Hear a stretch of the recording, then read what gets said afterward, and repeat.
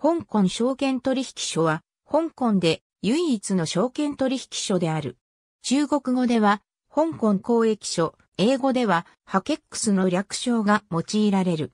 2000年3月6日に、香港連合交易所、香港機化交易所、香港中央決算有限公司が合併して成立した。同6月27日に自らの株式を上場し、2006年9月11日からは、反戦指数の構成銘柄となっている。このうち香港連合交易所は1980年に、香港証券交易所、遠東証券交易所、金銀証券交易所、旧流証券交易所が合併したものである。会長は、週末見影、元、香港鉄路有限公司社長、CEO は、李承家である。役員は、財政支市長及び株主がそれぞれ6名以内、合計12名を超えない範囲で任命する。取引市場にはメインボードとグロースエンタープライズマーケットがある。グロースエンタープライズマーケットは新興企業向け市場とされており、略称でジェムとも称される。東証に例えると、それぞれ一部市場とマザーズに相当する。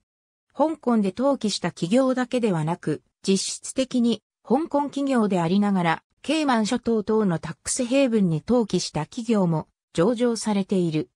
1993年7月15日のチンタオビールを皮切りに中国企業の株式上場も行われ、現在では株価総額の相当割合を占めるまでになっている。レッドチップは中国本土の資本による香港企業を指し、H 株とは異なる。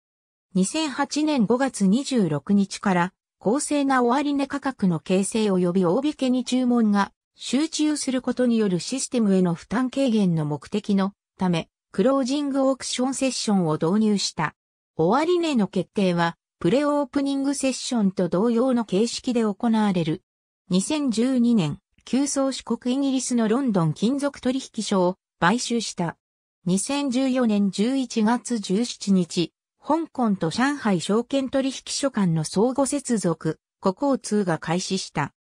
これにより、海外投資家は香港経由で中国市場に上場する株式の取引が可能になる。一方、中国本土の投資家は香港市場に上場する株式の取引ができるようになった。また、2016年12月からは、新鮮証券取引所とも、付加交通を開始した。2017年10月17日、香港証券取引所は31年間使用してきた率会場を廃止した。証券取引の電子化の伸長に伴い、2000年には600人いた取引員は近年は約30人ほどになっていた。2019年9月、イギリスの欧州連合離脱が進む中で、ロンドン証券取引所の買収を提案して、注目されるもロンドン証取の拒否で、翌10月に撤回された。上場している日本の企業は以下の通り。プライマリー上場セカンダリー上場プライマリー上場の企業は本間ゴルフ以外はいずれもパチンコ店を経営する持ち株会社である。背景としては日本の証券取引所、証券会社のパチンコ店に対する厳しい姿勢などが挙げられる。このほか SBI ホールディングスが予託証券を上場していたが、2014年に上場を廃止した。10、日清食品が上場。ありがとうございます。